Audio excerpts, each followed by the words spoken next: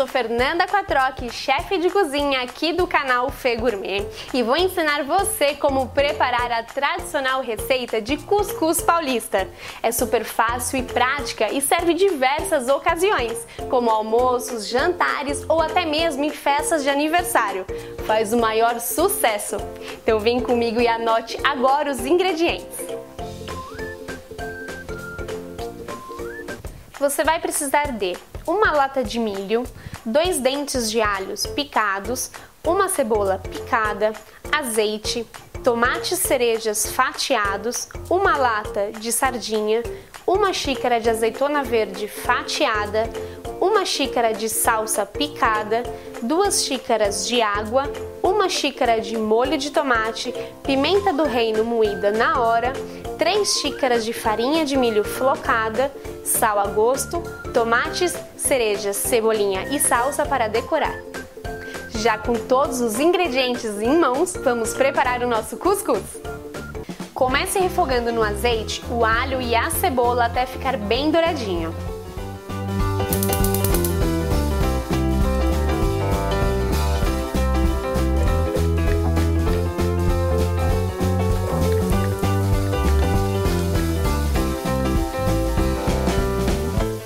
Já ficou bem douradinho. Acrescente o milho, a sardinha, a azeitona fatiada, a salsa e o tomate cereja e tempere com sal e pimenta a gosto. Deixe refogar por aproximadamente 5 minutos.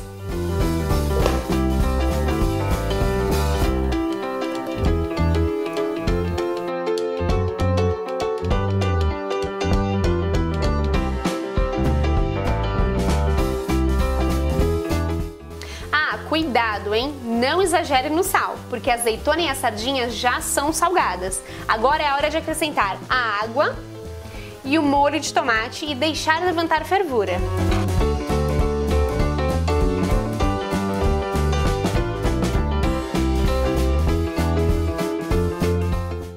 Enquanto o refogado levanta a fervura, unte uma forma com azeite. Isso vai ajudar muito na hora de desenformar o cuscuz.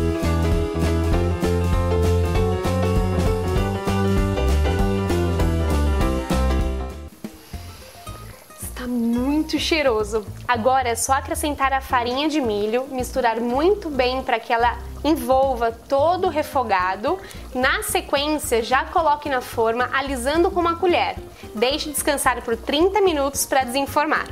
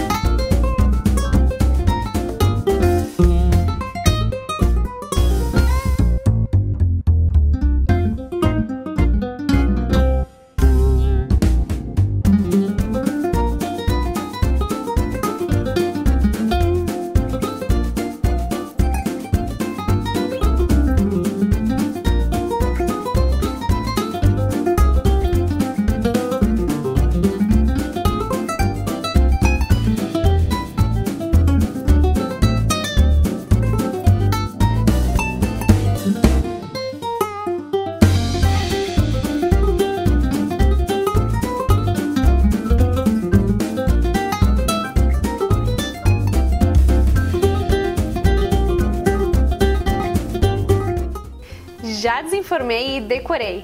Agora eu vou provar um pedaço e deixar você com água na boca.